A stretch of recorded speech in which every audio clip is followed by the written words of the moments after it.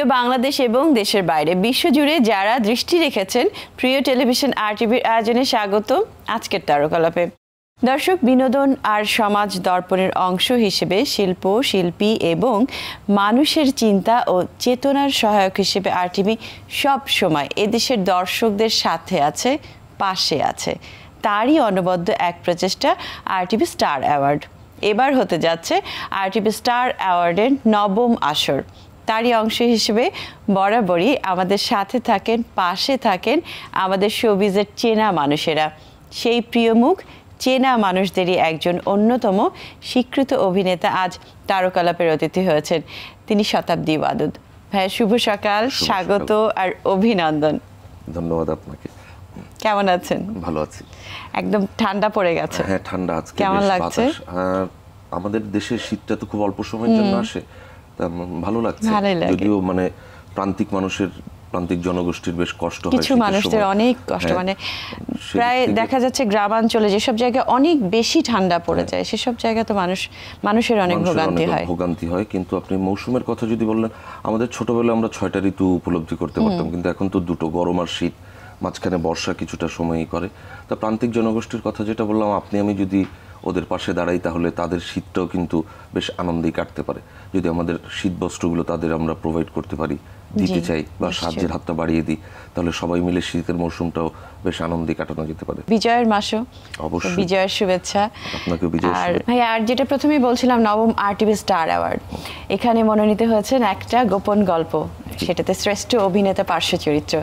সেই এই কাজটার পুরো গল্পটাই শুনতে চাই প্রথমে। কাজটার পুরো গল্পটা যদি বলতে হয় তাহলে বললাম ওই যে প্রান্তিক জনগোষ্ঠী। হ্যাঁ। আমি এখানে অভিনয় করেছি প্রান্তিক জনগোষ্ঠীর একজন একজন হিসেবে। তা আমার মিসেসের এরকম একটা বাচ্চা হয়। তা বাচ্চাটা হয় আমরা যেহেতু বললাম যে প্রান্তিক জনগোষ্ঠী আমাদের রুটি রুজির খুব বাজে অবস্থা অর্থকরী হাতে থাকে না। সো এই বাচ্চাটাকে বাঁচানোর জন্য হসপিটালের বিল ভরার জন্য আমাদের পুরো একটা জার্নি দেখানো হয় পুরো নাটকটা জুড়ে। এবং খুব স্পর্শকাতর গল্প। অভিনয় কি হয়েছে সেটা দর্শকরা দেখেছেন দর্শকরা ভালো বলতে পারবেন। কিন্তু আমাদের দিক থেকে বেশ চেষ্টা ছিল এবং ওখানে যারা অভিনয় করেছে অন্যান্য সহ অভিনেতা শবনম ফারিয়া তারপর ইরফান সাজ্জাদ তাদেরও খুব চেষ্টা ছিল গল্পটাকে সুন্দরভাবে দর্শকের জন্য উপস্থাপন করা। কাজ করার সময় কখনো ভেবেছিলেন যে এই কাজটা একটু অন্যরকম হচ্ছে ভালো হচ্ছে অনেক বেশি? আমাদের এখন যেটা হয় কি যে বাজেট এবং সব কিছু রিয়েলিটির কারণেই সব কাজই খুব তাড়াহুড়া থাকে। তো এই কাজটা যিনি নির্দেশক ছিলেন, তার খুব চেষ্টা ছিল যে আমি ভালো কাজ করতে চাই। সেটা দুদিন লাগুক, তিন দিন লাগুক। আমার অর্থনৈতিকভাবে আমার মানে সাফল্যের মুখ দেখতে হবে, আমি এটা করে লাভ করব। তা না, আমার একটা ভালো কাজ করতে চাই। যে কারণে উনি একদম বলব আমি তিন দিনই কাজ করেছেন। তিন দিন কাজ করেছেন এবং উনি খুব চেষ্টা করছিলেন একটা ভালো কাজ করতে চাই এবং যখন টিমের প্রধান, ক্যাপ্টেন অফ দ্য শিপ যখন চান একটা ভালো কাজ হোক এবং সেটা যখন উনি ছড়িয়ে দিতে পারেন তার অভিনেতা বা অন্যান্য টিমম্যানদের মধ্যে তখন একটা ভালো কাজ হয়। এবং আর কাজটা করার সময় আমরা বুঝতে পারছিলাম যে হ্যাঁ এই স্ক্রিপ্টটা আর দশটা স্ক্রিপ্টের মতো না। মিষ্টি মধুর প্রেমের গল্প পার্কে বসে দুটো লাইন বললাম বা আমরা ড্রয়িং রুমে বসে গল্পটা সেরে ফেললাম সেরকম না। মানে অনেকগুলো লোকেশনস ছিল। ওই লোকেশনগুলায় ঘুরে ঘুরে কষ্ট হয়েছে। আমরা পুবাইলে করেছি মিরের বাজার করেছি তারপর কিছু কাজ করেছি টঙ্গী ব্রিজের এখানে। পরিশ্রম হয়েছে আমাদের সবারই পুরো টিমেরই। কিন্তু ওই যে বললাম যে একটা ভালো কাজের জন্য সবাই পরিশ্রম করতেছে এবং আমরা করবার সময় বুঝতে পারছিলাম যে কাজটা ডিফারেন্ট গল্পটা ডিফারেন্ট যে অনেক মানবিক গল্প। এরকম গল্প তো আমাদের এখন কম পাওয়া যায়। এই কাজটার ফিডব্যাকটা কেমন ছিল সবার কাছ থেকে? ফিডব্যাক যেমন আমাকে ডিরেক্টর এডিট করার পর ফোন দিয়ে খুব ইমোশনাল হয়ে গিয়েছিলেন। উনি বলছেন ভাই খুব ভালো কাজ হয়েছে। আমি বলি ভাই নিজের কাজ নিজে বলছেন আপনি, আমাকে হয়তো ধন্যবাদ জানাচ্ছেন, কিন্তু এটা আসলে দর্শকের সামনে যাওয়ার আগ পর্যন্ত আপনি বুঝতে পারবেন না, কিন্তু দর্শক অন্য জিনিস, দর্শক অনেক খুঁটিনাটি বিষয়বস্তু অন্যভাবে দেখে দর্শক, দর্শকের চোখ পুরো ভিন্ন। কে বলে, না ভাই, আমি খুব আশাবাদী। তারপর তো কাজটা অন যাওয়ার পর আমি প্রচুর ফোন পেয়েছি, তারপর এখন তো সামাজিক যোগাযোগ মাধ্যম ফেসবুকে অনেক উইশেস পেয়েছি, খুব ভালো একটা কাজ করেছেন। কবে করলেন কাজটা, কত তারিখ, এই কাজটা, এরকম করলে একটু এরকম হতো। আমরা তো আসলে ডিরেক্টরের কলে যাই ডিরেক্টর যেভাবে বলেন সেভাবেই আমরা করবার চেষ্টা করি। কিন্তু অনেকে অনেক রকম সাজেশন দিয়েছেন, যেটা মনে হচ্ছে হ্যাঁ এরকম স্ক্রিপ্ট বা এই টাইপের স্ক্রিপ্ট পেলে এর পরে হয়তো এই কাজটা একটু এই জিনিসগুলো ইমপ্লিমেন্ট যদি করা যায়। এখন কীরকম স্ক্রিপ্ট পাচ্ছেন? মানে ভালো কাজের কথা জানতে চাচ্ছি। কাজ করে খুব ভালো লেগেছে এরকম কয়েকটা কাজের কথা শুনতে চাই। আমাদের এখন না আপনি যদি বলেন অভিনেতা অভিনেত্রী বা চরিত্রাভিনেতা সবাই তো আমরা অভিনয় করতে চাই। সেক্ষেত্রে আমার মনে হয় আমাদের পাণ্ডুলিপির একটা বড় ক্রাইসিস যাচ্ছে এ সময়ে মানে ওভারঅল মার্কেটে আমি বলব যে পুরো ওভারঅল পাণ্ডুলিপির একটা বড় ক্রাইসিস আচ্ছা। যাচ্ছে। যে সবাই এটা কি বাজেটের কারণে? আমি ঠিক আসলে বাজেট বলব না এটা হলো দৃষ্টিভঙ্গি। আমার টেস্টটা কীরকম? কারণ একজন ডিরেক্টর কাজটা বানান বা একজন প্রডিউসারের কাজটা ইনভলভ থাকেন তাদের টেস্টও কিন্তু একটা ম্যাটার করে আমার কাছে মনে হয়েছে। তারা যদি ঠিকঠাক চায় যে আমি পাঁচটা কাজ করছি যারা রেগুলার মেকার পাঁচটা কাজ করছি সেই পাঁচটা কাজের মধ্যে থেকে দুটো কাজ আমি ভালো করবই বা ডিফারেন্ট গল্প নিব আমি এফোর্ট দেব। এফোর্টলেস কাজ করার এক ধরনের প্রবণতা এখন তৈরি হয়েছে। আমার মধ্যেও আমিও তার বাইরে নেই। আমার মধ্যে আছে দাঁড়ালাম পড়লাম হ্যাঁ কী আছে লাইনটা বলো? বলে দিচ্ছি এক ধরনের টেকনিক অ্যাপ্লাই করে। কিন্তু যদি আমরা পাণ্ডুলিপিটা ঠিকঠাক মতো পড়ি পাণ্ডুলিপি যেটা হয় যেমন এবার বলব বিজয়ের মাস আমি খুব ক্ষোভের সাথেই জানাতে চাই যে আমরা বাসায় বসে বিজয়ের মাসের মুক্তিযুদ্ধের গল্প লিখি। মুক্তিযুদ্ধের গল্প লিখবার কিছু নেই, কিন্তু আপনি কাহিনীটাকে বা সত্যি ঘটনাটাকে আপনি নাটকে রূপান্তর করতে পারেন। আপনার মন মতো আপনি মুক্তিযুদ্ধের গল্প লিখতে পারেন না। মানে এটা আমি ক্ষোভের সাথেই বল সেরকম জায়গা থেকে দেখা যায় যে পাণ্ডুলিপির ক্ষেত্রে খুব খুব ভালো পাণ্ডুলিপির খুব অভাব। আমি বলছি না যে খারাপ মানে সব নাটকই খারাপ হচ্ছে বা কিছু কিছু নাটক মেকিংয়ের কারণে উতরে যাচ্ছে। কিন্তু ওভারঅল আপনি যদি বলেন যে পাণ্ডুলিপি, আমরা এখন অনেক নাটক দেখি।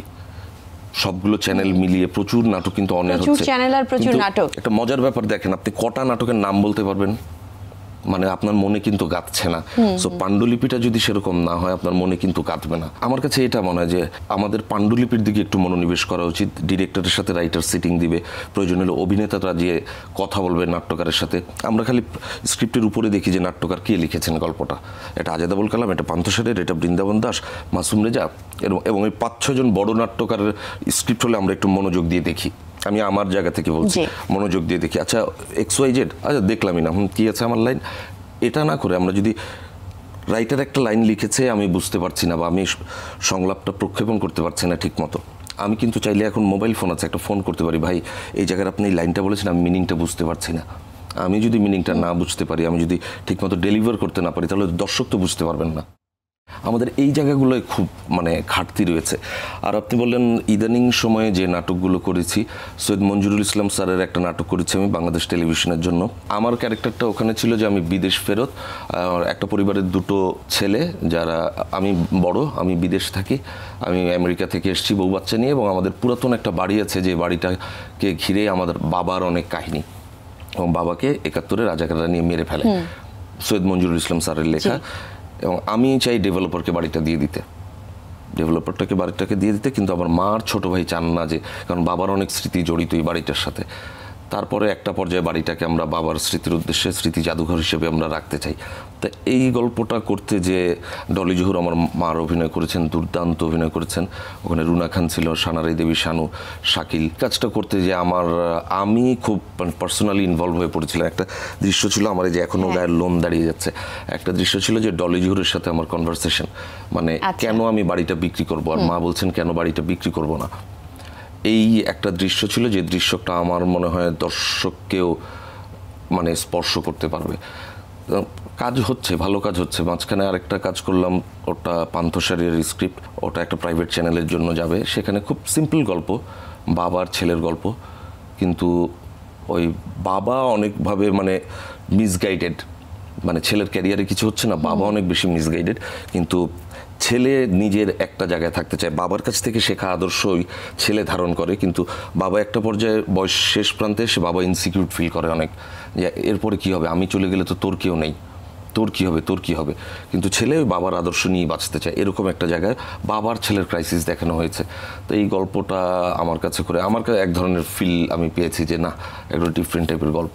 ভালো ভালো নাটকে তো দেখছি কিন্তু চলচ্চিত্র নিয়ে সবসময় আমার একটা আগ্রহ আছে। আরও জানতে চাই যে চলচ্চিত্রের কাজ নিয়ে কি চিন্তা ভাবনা আপনার? এবং নবম আর টিভি স্টার অ্যাওয়ার্ড তো আছে সেই গল্পে ফিরবো ছোট্ট একটা বিরতি থেকে ফিরে আসি। দর্শক আমাদের মঞ্চ টেলিভিশন আর বড় পর্দার ভীষণ প্রিয় চেনা মানুষ প্রাণবন্ত অভিনয়ের শতাব্দী ওয়াদুদ ভাইয়া। আজ রয়েছেন তারকলাপের গল্প কথায় তার প্রিয় কাজ, অভিনয় এবং তার অন্তরালের ভালো লাগার সব গল্পের পরের অংশে ফিরবো। সংক্ষিপ্ত সময়ের বিরতি শেষে। সঙ্গেই থাকবেন।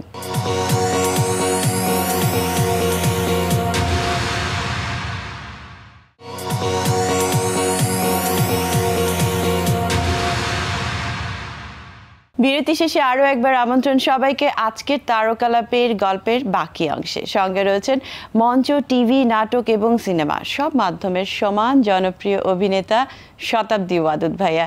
ফিরছি গল্পে। ভাইয়া কাজের গল্পে ছিলাম। একটু চলচ্চিত্র নিয়ে জানতে চাই যে চলচ্চিত্রে কাজ করছেন সামনে কোনো চলচ্চিত্রে পাবো আপনাকে? হ্যাঁ সামনে বেশ কয়েকটা চলচ্চিত্রে পাবেন যেমন বিউটি সার্কাস তারপরে মিশন এক্সট্রিম আচ্ছা। মিশন এক্সট্রিমের একটু কাজ বাকি বিউটি সার্কাস অল্প একটু কাজ বাকি। আগামী বছরে দুটো ছবি দেখতে একটু পাবেন চরিত্রগুলো শুনতে চাই। আচ্ছা বিউটি সার্কাসে আমি একদম নেগেটিভ একটা রোল প্লে করছি যে কিনা এলাকায় কোনো সার্কাসের প্যান্ডেল আসলে এলাকায় কিছু লোক থাকে না যে চাঁদাবাজ হ্যাঁ। গুন্ডামি মানে অর্থের জন্য মানুষও মেরে ফেলতে কোনো ই করে না আচ্ছা, আবার হ্যাঁ। ড্রাগ ডিলিং এর সাথেও জড়িত। এরকম একটা মধ্য কথা একদম সর্বোপরি একজন খারাপ মানুষের চরিত্র অভিনয় করছি। আর মিশন এক্সট্রিমে আমাকে দেখা যাবে একজন সাসপেন্ডেড পুলিশ অফিসার হিসেবে, যে কিনা নিজের কৃতকর্মের জন্য সাসপেন্ডেড কিন্তু আবার দেশকে যে ভালোবাসে। মানে গল্পের একটা পর্যায়ে আমাকে গল্পের শুরু থেকে বেশ কিছু পরে এসে আমার এন্ট্রি মুভিতে এবং পরে দেখা যাবে যে এই লোকটা নিজে, উনি সাসপেন্ডেড তাতে কোনো ম্যাটার করে না, কিন্তু নিজে নিজের কাজটা ঠিকঠাক মতো করবার চেষ্টা করে, কারণ দেশের প্রতি তার একটা দায়বদ্ধতা আছে। একটু রকচটা টাইপের বদমেজাজি সে কারণে উনি সাসপেন্ডেড হয়। এবং পরে দেখা যায় যে অপরাধীদের ধরবার জন্য যে পুরো একটা জাল বেছানো হয়, এই জালটা এই ভদ্রলোক নিজেই মানে নায়কের সাথে নিজেই টেনে তোলেন। তো এরকম একটা মুখ্য চরিত্র অভিনয় করছি। আর আরেকটা সিনেমায় অভিনয় করছি যেটা অর্জুন একাত্তর। একাত্তর সালের সত্যি ঘটনার উপর নির্মিত। এখানে আমার সাথে অভিনয় করছেন আমাদের মৌসুমি আপা চিত্রনায়িকা মৌসুমি। উনি আছেন এটা সত্যি ঘটনার উপর নির্মিত একটা ছবি। মির্জা সাখাওয়াত হোসেন এই ছবিটা বানাচ্ছেন। এটাও হয়তো আমরা আগামী বছর শেষ নাগাদ আমরা পাবো। কারণ আমাদের টার্গেট আছে বঙ্গবন্ধুর জন্ম শতবার্ষিকীতে এই ছবিটা রিলিজ করা। আচ্ছা ভাই অনেক সময় আপনি একদম খুব নেগেটিভ ক্যারেক্টার করে থাকেন। তো অনেকে একটু ভাবে যে আমি নেগেটিভ ক্যারেক্টার করব না। আমার যারা ফ্যানরা আছে দর্শকরা আছে তাদের উপরে একটা ইম্প্যাক্ট পড়বে যে আমি একটা নেগেটিভ মানুষ। এরকম কথা কখনো মনে হয়েছে বা এরকম ফিডব্যাক কখনো পেয়েছেন দর্শকদের কাছ থেকে? না আমি এরকম ফিডব্যাক কখনো পাইনি। আর আমার কাছে মনে হয় এখন পৃথিবী অনেক ছোট হয়ে গেছে। মানুষ চাইলেই কিন্তু গুগল করলে, আমার নাম দিয়ে গুগল করলে বা আমার অন্যান্য জায়গায় গেলে দেখতে পাবে আমি মানুষটা কেমন। বা এই যে আপনাদের এখানে ইন্টারভিউস দিচ্ছি, আমার কথা শুনছেন দর্শক। দর্শকরা কিন্তু আমার সম্পর্কে একটা আইডিয়া করেন। যে উনি একটা সময় ছিল যে আমরা এটিএম বাইরে যে সময় করেছেন যে এটিএম শামসুজ্জামান মানেই একজন খারাপ মানুষ। হ্যাঁ, তখন কিন্তু আমরা পর্দা ছাড়া আমরা অন্য কোথাও জানতাম না বা তার মুভমেন্ট কি সে কোথায় কি করছে এগুলো ব্যাপারে আমাদের কোনো আইডিয়াস ছিল না। কিন্তু এখন তো দুনিয়া ছোট হয়ে গেছে যোগাযোগের মাধ্যমগুলো অনেক স্ট্রং সবাই জানে। তা আমার কাছে মনে হয় যে না আমি নেগেটিভ ক্যারেক্টার করি কিন্তু আমি মানুষটা হয়তো নেগেটিভ না এতটা খারাপ না আমাকে স্ক্রিনে যেরকম দেখা যায়। যদি বলেন আমি নেগেটিভ ক্যারেক্টার করতে খুব এনজয় করি আর দিন শেষে আমি তো একজন অভিনেতা। নেগেটিভ পজিটিভ সব ক্যারেক্টারই আমার কাছে ক্যারেক্টার আর আমি নিজের সাথে নিজে চ্যালেঞ্জ নিতে খুব ভালোবাসি যে আমাকেই তো আমার উত্তরণ ঘটাতে হবে। যে আমি আমার নিজেকে ছাপিয়ে যেতে পারব কি না সেই জায়গা থেকে মাঝে মাঝে হয় যে ব্যাক টু ব্যাক তিনটা চারটা নেগেটিভ রোল করার পর আচ্ছা আমি ছয় মাস আর কোনো নেগেটিভ রোল করব না। একটু অন্যরকম কাজ করতে হ্যাঁ, চান নিজের নিজের প্রিপারেশনের কিছু বিষয় আছে বা একরকম করে গেলে ঘন ঘন কাজ হলে দেখা যায় সব কাজই একরকম হয়ে যাচ্ছে। তখন তো মানে আমার জার্নিতে আমার কাছে মনে হয় যে না একটু ব্রেকের দরকার আছে। একটু ব্রেক নিয়ে আচ্ছা আবার চলো নতুনভাবে ভাবি। মাঝখানে কিছু পজিটিভ ক্যারেক্টার করলাম বা একদম সাপোর্টিং রোলে অভিনয় করলাম দুটো তিনটে সিন তখন হয় কি যে নিজেকে আবার ভেঙে চুরে আবার গড়া যায়। আমি ওরকম মনে করি। যখন স্টোরিটা পান তখন কি মনে হয় যে আমার ক্যারেক্টারটা একটু মেইন হতে হবে বা ক্যারেক্টারটা একটু গুরুত্বপূর্ণ হতে হবে? নাকি যে কোনো ক্যারেক্টার যেটা আপনার ভালো লাগে আপনি করে ফেলেন? না আমার কাছে ওরকম মনে হয় না যে আমি আমার ক্যারেক্টারটা মেইন হতে হবে লিড কাস্ট হতে হবে। আমার কাছে ওটা খুব গুরুত্বপূর্ণ না। আমার কাছে গুরুত্বপূর্ণ গল্পে আমার চরিত্রটা কতটুকু প্রাধান্য পাচ্ছে? আমার যদি একটাও দৃশ্য থাকে এবং সেটা যদি টার্নিং কোনো ক্যারেক্টার হয় যে গল্পটা এসে ঘুরিয়ে দিয়ে চলে গেল এরকম কিছু ক্যারেক্টার আছে না? আমি এক দৃশ্য করতেও আমার কোনো সমস্যা নেই। কিন্তু আমার চরিত্রটা ওখানে আমার করার অপশন থাকতে হবে। আমার দৃশ্য একটা হোক কিন্তু আমি এসে করলাম করে আমি বেরিয়ে গেলাম। মানে গল্পে আমার একটা ইম্পর্টেন্স থাকতে হবে। সেটা একটা দৃশ্য হতে পারে একশোটা দৃশ্য হতে পারে। আবার এরকম অনেক চরিত্র আছে যে আপনি পুরো গল্পের শুরু থেকে শেষ পর্যন্ত আছেন আলুর মতো। মানে আপনি কোনো অ্যাক্টিভিটিস নেই আপনি থাকছেন তো থাকছেন তো থাকছেন। মানে আমার কাছে মনে হয় ওইসব ক্যারেক্টার করার আমি চাই না করতে। অল্প অনুঘটক হিসেবে কাজ করতে চাই যদি ওরকম একটা দৃশ্য হয় আই ডোন্ট মাইন্ড শিল্পীদের আসলে কাজের কাজ তো হচ্ছে নিজের ভালো লাগার জন্যই শিল্পীরা সবসময় করে থাকে তারপরে তো স্বীকৃতিটা নিশ্চয়ই একটু ভালো লাগে। নবম আরটিভি স্টার অ্যাওয়ার্ডে শিল্পীদেরকে যেভাবে সম্মাননা দেওয়া হয় এটাতে আপনার কি মনে হয় শিল্পীরা কতখানি অনুপ্রাণিত হয়? অবশ্যই এটা আমি আসলে ব্যক্তিগতভাবে আর টিভিকে ধন্যবাদ জানাতে চাই যে গত ন বছর ধরে তারা আমাদের মানে তার আর টিভিতে প্রচারিত নাটকগুলোকে যেভাবে স্বীকৃতি দিয়ে এসছেন এবং খুব চমকালো অনুষ্ঠানের মাধ্যমে আমাদের সব অভিনেতা অভিনেত্রীরা সেখানে আমরা ওই উপস্থিত থাকি, মেকার, রাইটার, সবাই সব সেগমেন্টের লোকজন উপস্থিত থাকে। আমার কাছে এটা একটা মানে দারুণ ভালো লাগার ব্যাপার। কারণ আমরা চাইলেও না এখন হয় কি যে খুব দুঃখজনক হলেও সত্যি যে মানুষের মৃত্যু দিনে আমরা দেখা গেলো যে সব একসাথে হচ্ছি। আনন্দের দিনগুলোতে অনেক কি পাওয়া যায় না। সো এরকম একটা দিনে আমরা কিন্তু সবাই একসাথে হতে পারছি। আমাদের এখন শিল্পী সঙ্গে নির্বাচনের দিন বা গেট। টুগেদারের দিন খুব অল্প বছরে দুটো তিনটে দিন কিন্তু দেখা গেলো যে আমরা সবাই একসাথে হচ্ছি। সো আর টিভি অ্যাওয়ার্ডটাও কিন্তু ওরকম একটা দিন এখন দাঁড়িয়ে গেছে যে বছরের ওই দিনটাতে সবার সাথে কমার বেশি দেখা হবে। হা হা হি হলো সেলফি তুললাম ফটোগ্রাফ তুললাম বা আড্ডাটা হলো দুই তিন চার ঘণ্টা একসাথে থাকা হয়। সো আমি এই জিনিসটাকে আমি খুব ব্যক্তিগতভাবে আমি খুব এনজয় করি যে আমরা তো এখন আসলে পারি না ব্যস্ততার কারণেই হয় না হয়ে ওঠে না। সো ওই দিনটাকে যেমন আসছে আঠাশ তারিখ আমি দিন- ওই দিনটাকে খুব এনজয় করব এবং কাজ টাজ সব বাকি রেখে আমি ওই দিনটাকে দর্শকরাও আছি নিশ্চয়ই আমাদের সাথে থাকবেন অবশ্যই দর্শকরা থাকবেন। আর আর টিভিকে সাধুবাদ জানাই। আর হয় কি যে আপনি কোথাও থেকে আমরা মঞ্চে নাটক করে আমরা যেটা শিখেছি দেখেছি ছোটবেলা থেকে যে কেন আমি মঞ্চে নাটক করি? দর্শকের তালি পাওয়ার জন্য। বা সিনেমা টেলিভিশন ওয়াও বা বাহ এই যে দর্শক হল থেকে বেরো এক ধরনের পরিতৃপ্তি নিয়ে।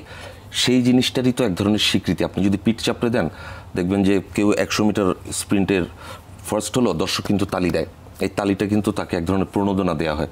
তুমি ভালো করেছ যাও আরও এগো আরও এগো। তো এরকম অ্যাওয়ার্ডস গিভিং সেরিমনিগুলো বা যিনি পাচ্ছেন বা পাচ্ছেন না তাতে কিছু যায় আসে না। ওই যে আমাকে এক ধরনের পুশ আপ করা হচ্ছে যে হ্যাঁ তোমার ভালো হচ্ছে কাজ আরও এগো আরও এগো। আর ভালোর তো কোনো শেষ নেই। সেটাই। ভাই আপনি তো মুক্তিযুদ্ধ ভিত্তিক অনেক কাজ করেছেন। অনেক। চলচ্চিত্র নাটক সবকিছুতে কাজ করেছেন।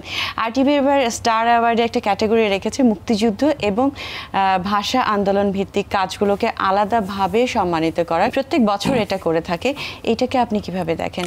আমি এটাকে বলব কি আমার কাছে একটু ভিন্ন রকম মনে হয়। আমরা সলিড আর টিভির এটাকে অবশ্যই সাধুবাদ জানাই কিন্তু আমাদের অন্য চ্যানেল বা আমরাও মানসিকভাবে এমনভাবে প্রস্তুত যে মার্চ মাস আসলে আমরা মুক্তিযুদ্ধ নিয়ে খুব অস্থির হয়ে পড়ি। ডিসেম্বর আসলে অস্থির হয়ে পড়ি আর ফেব্রুয়ারি আসলে ভাষা আন্দোলন। আমার কাছে মনে হয় কেন নয় সারা বছর ব্যাপী সারা বছর ব্যাপী কেন নয়। এবং দেখবেন যে আপনার আর টিভি যে অ্যাওয়ার্ডটা দিচ্ছে এটা কিন্তু দেখবেন যে মার্চ মাসে যে নাটকগুলো অনেয়ার হওয়া বা ডিসেম্বরে যে নাটকগুলো অনেয়ার হওয়া এবং ফেব্রুয়ারিতে এই তিন মাসের নাটকগুলো আমরা যদি সারা বছর ব্যাপী এরকম কাজ করি সারা বছর ব্যাপী তাহলে কিন্তু আর টিভির জন্য সুবিধা হয়। বা আমার নিজের জন্য, আমাকে এখন একটা কল পেলাম যে আমি দাঁড়িয়ে গেলাম একটা মুক্তিযোদ্ধার অভিনয় করছি, মাথায় গামছা বেঁধে আমি, আমার চুলের রং লাল, আমি মুক্তিযোদ্ধা হয়ে গেলাম।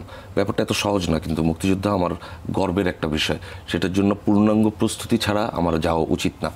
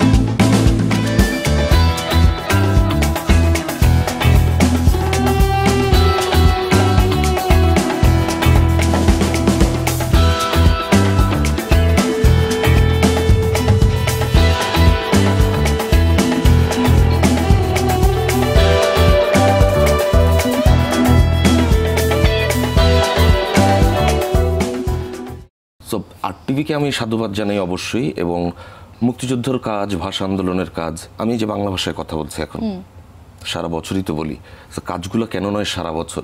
এবং দরকার হলে একটা ভালো কাজের জন্য আমরা দু মাস অপেক্ষা করব দু মাস পরে গিয়ে জুলাই মাসে দরকার হলে এটা প্রচার হবে কোনো একটা চ্যানেলে বা আট টিভির কথা যদি বলি আট টিভিতে জুলাই মাসে প্র- প্রচারিত হবে। আমি ফেব্রুয়ারিতে আমি প্ল্যান করেছিলাম ফেব্রুয়ারিতে প্রিপারেশন নিতে পারিনি। আমি জুলাইতে প্রচার করব। অসুবিধা নেই তো আমার তো দর্শক আছে মানুষ তো দেখবে। আর এখন ইউটিউব আছে অনেক ধরনের ফান্ডা আছে। তা আমার কাছে মনে হয় ওই প্রস্তুতিটা খুব জরুরি। আর টিভি তো অবশ্যই প্রণোদনা দিচ্ছে এটা খুব ভালো একটা ব্যাপার। আবারও শুভ কামনা এবং অভিনন্দন আপনার জন্য। আপনাকেও ধন্যবাদ আর টিভিকে ধন্যবাদ আর টিভি স্টার অ্যাওয়ার্ড এরকম এটা নভেম্বরের মতো করছে আমি চাইব এটা যেন হাজারবারের মতো করতে পারে আয়োজন। আর টিভি দর্শক আমার জন্য দোয়া করবেন।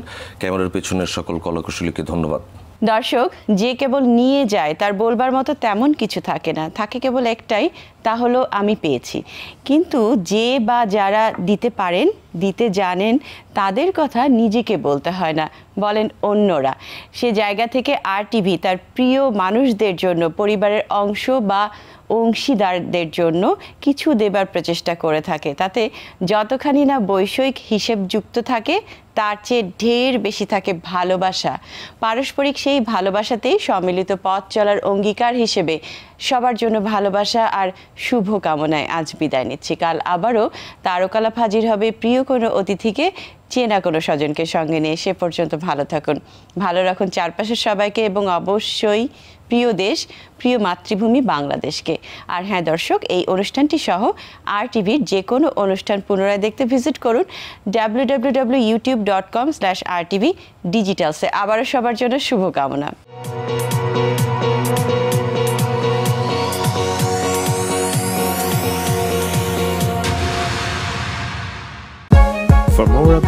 subscribe